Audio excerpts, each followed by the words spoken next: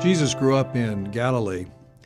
And Josephus tells us that most villages in Galilee and Judea had synagogues. Now, he may have been exaggerating, and yes, there was a scholar a number of years ago who claimed that there weren't really any synagogues prior to the year 70 when the temple was destroyed.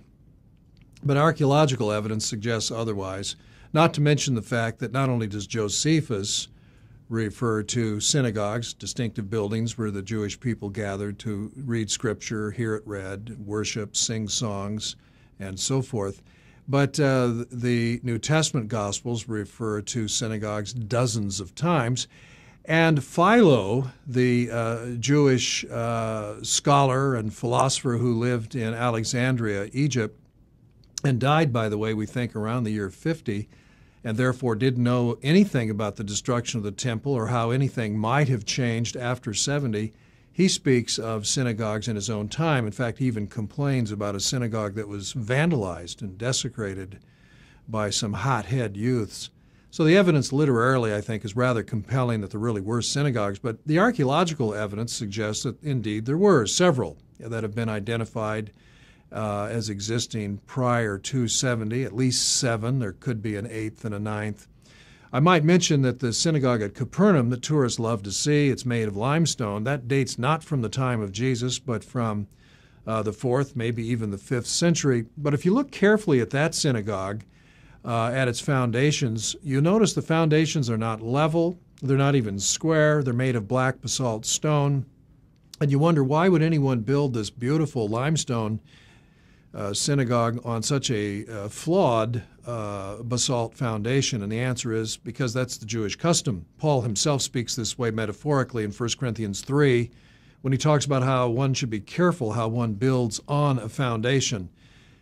And so, what I think uh, at Capernaum is uh, what we have is the original um, foundation of the synagogue that probably was built in the first century BC. The synagogue that is mentioned in the New Testament Gospels, where Jesus had, uh, where he sometimes preached and sometimes healed. And so, in keeping with the sacredness of that foundation, that particular spot, the later uh, synagogue of the fourth or fifth century was built upon it, even though the foundations, you know, were not exactly perfect. In this video, we'll conduct an image search with multiple terms and view video files within logos. In the previous lesson, Dr. Evans mentioned an inscription at a synagogue of Capernaum, as well as an interesting comment about the ancient structure that underlies the currently standing synagogue. In this screencast, I want to show you how you can do an image search using the search terms of synagogue and Capernaum to find great shots of what Dr. Evans was describing. The first thing we'll need to do is open up a new search panel. Once we have the search panel open, we will need to make sure that the type of search we're running is an image search by selecting Image in the top right-hand corner of the panel. We'll also want to make sure that our search range is set to all images in entire library. We're first and foremost interested in looking at pictures of synagogues. We can see every picture in our Logos library that mentions synagogue by simply typing the word synagogue in the search bar, then pressing enter. The search results for this provide us with quite a few pictures of synagogues from our Logos library the number of images returned will depend on the number of image-related resources you have in your library. These images are being pulled directly out of your personal library. We're interested not in synagogues in general, but a particular synagogue, the Synagogue at Capernaum. In order to narrow down our search results, we can run a search using the word Capernaum in correspondence with the word synagogue. This will find all the places where the text that appears with the corresponding image or video will have the word Capernaum near the word synagogue in the image database. Let's take some time to analyze these amazing images and videos in our search results. The first picture I want to highlight is an infographic tied to Matthew 4:13 from the Faithlife Study Bible. It illustrates what the synagogue at Capernaum would look like today if it were still in its original state. This infographic even mentions the basalt walls that the original synagogue would have been constructed from.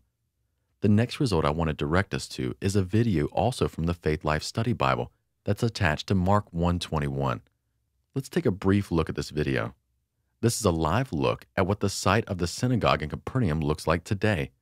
If you pause the video at around 43 seconds, you can see what the original basalt stone foundations look like underneath the limestone structure that Dr. Evans mentioned.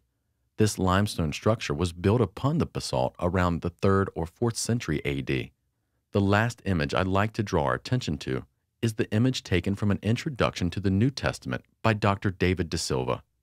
This image displays the seat of Moses that Dr. Evans talked about with regard to the synagogue at Chorazin. The nice thing about this image is that it's also linked to a passage in Scripture where Jesus talks about the Pharisees sitting at the seat of Moses. Many people believe that Jesus is actually referring to a literal seat like this one when he speaks in Matthew 23 2. I challenge you to look at some more of the image results in this search. It will give you an even greater appreciation for what Dr. Evans is talking about with regard to the synagogues in this area.